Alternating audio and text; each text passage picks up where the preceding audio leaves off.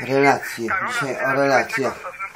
Tak. Zastanawiało mnie, księże profesorze, w tym tygodniu, kiedy była mowa o świętym Stanisławie Kostka. I to była dla mnie taka analogia. To O, nie Stanisław, mm, że tak powiem, to nie, znaczy zgubił się tym, którzy nie byli przekonani o jego powołaniu, temu bratu, tylko oni się jemu zgubili, tak jak zgubiła się I święty Józef Panu Jezusowi, kiedy go tam dni za dużo Maria miała dzieci, no czyli zgubił nie Jezus. że, że, że, mam być e, cały czas ukierunkowany właśnie na ojca. Dlatego, dlatego e, też jest takie znamienne, że Karol Wojtyła e, również przenosi te komplikacje, te, te, te, te problemy na te relacje w związku małżeńskim przestępem jubilera. Tam też to jest i na końcu właśnie kończy tym akcentem, że jeżeli e, ponosimy straty, to właśnie dlatego, że nie byliśmy jako dzieci. I to się ciągle gdzieś tak przewija już od Ewangelii z ubiegłego tygodnia i również tej. Bardzo księdza profesora gorąco proszę o krótką modlitwę na grobie mojego przyjaciela e, Jan, Janusza e, Pasierba, księdza profesora. Bardzo mi brakuje, lata uciekają, ale... Bóg zapłać, panie Krzysztofie, bo już powoli podsumowujemy naszą audycję. Tak, oczywiście się pomodlę przy najbliższej okazji. Już się zbliża październik, więc będę dwa razy w tygodniu w Perplinie w ramach wykładów, to podjadę. E, no właśnie, a na grobie księdza profesora Pasierba jest napisane Wiem, że jesteś życiem, przecież umieram. To też warto się zastanowić a propos, jaka jest relacja życia do śmierci. Bo to jest pewien paradoks wypisany na jego grobie, ale tak naprawdę temat, który warto przemyśleć, on w jednym z wierszy to czyni.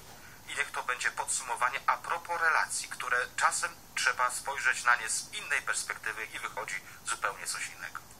Tak jest. I księże, doktorze, no, chcemy zebrać te wszystkie nasze, prawda, owoce tych dzisiejszych pytań, odpowiedzi, medytacji, czy bardziej tłumaczeń, interpretacji. Najbliższa niedziela, 25 w roku B, z jakimi myślami powinniśmy wyjść po tej Eucharystii, po wysłuchaniu homilii, na pewno pięknych, po wysłuchaniu Słowa Bożego. Święty Jakub apostoł pisze, gdzie zazdrość i rządza sporu, tam też bezład i wszelki występek. Ludzie potrafią zazdrościć innym wszystkiego, nawet czyjeś pobożności i przyjaźni z Bogiem.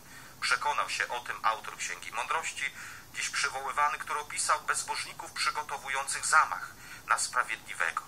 Zazdrość podzieliła również uczniów Jezusa. Posprzeczali się oni o to, kto z nich jest największy, więc widzimy w ich postawie połączenie zazdrości z pychą. Jeden człowiek może zazdrościć pozycji drugiemu i jednocześnie siebie uznaje za ważniejszego od niego.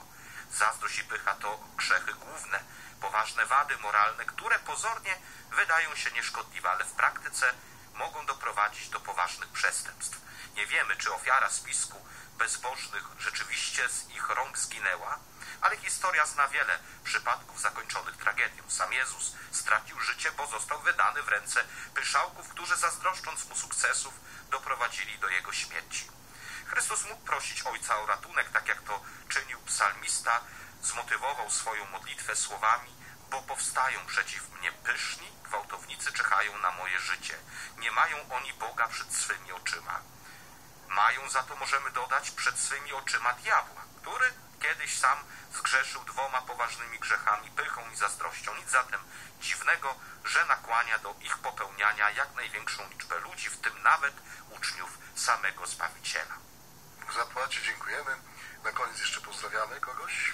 Tak, pozdrawiam, bo nie tylko jestem wykładowcą, ale także proboszczem parafii y, pod wezwaniem świętej Barbary w Lalkowach w dekanacie nowskim, więc pozdrawiam moich y, parafian. Pozdrawiamy gorąco. Przypomnę, naszym dzisiaj gościem, egzegetą był ksiądz dr Wojciech Kardyś, wykładowca egzegezy w Wyższym Seminarium Duchownym w Berlinie. Dziękujemy raz jeszcze. Dziękuję. Bóg zapłać i oczywiście podziękowania też naszym słuchaczom, którzy wzięli udział w naszej audycji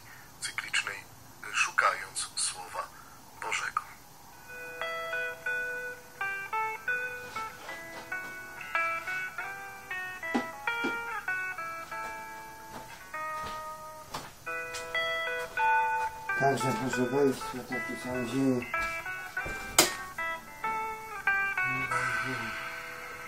Takie są dzieje nieba i ziemi. gdy nadaje nasze radio, to to. Kończy to. Bardziej wejdzie.